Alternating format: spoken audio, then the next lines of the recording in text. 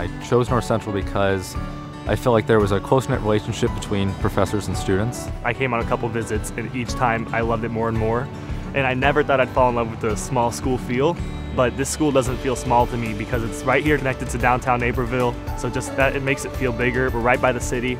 It helps that it's a smaller college because you can know everybody around you a lot better than you would be able to at a bigger school. At North Central, I feel like I have a huge connection with my faculty.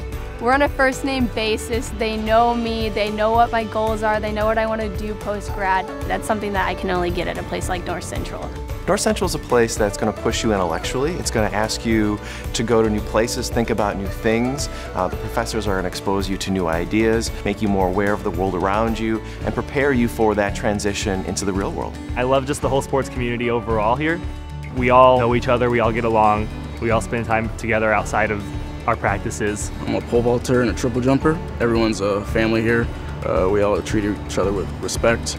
There is a BSA meeting that meets every Thursday. We talk about different things going on within our world and uh, our culture and how the students might feel that they are impacted by those things. She's comfortable here and it was like the first time we went here it was like okay you liked it. So second time I was like okay is the shine still on it? Are we still? She's like nope this is it I love it. She's in the right place. She chose this place.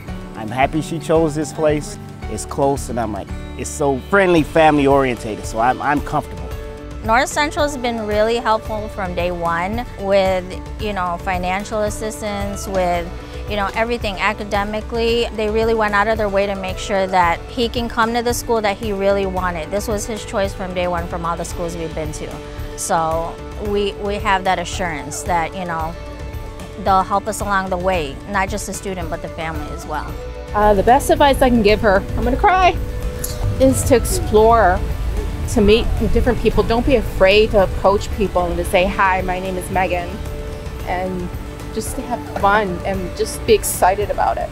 I told my daughter, and I would tell any college student, to live your best life. You are learning so much. People come from all over the world and they bring their experience and they bring uh, their culture. Cohabitating for four years and really getting to know each other and being able to walk away as a graduate, I, I think college life is the best life. So that's what I would tell kids, live your best life.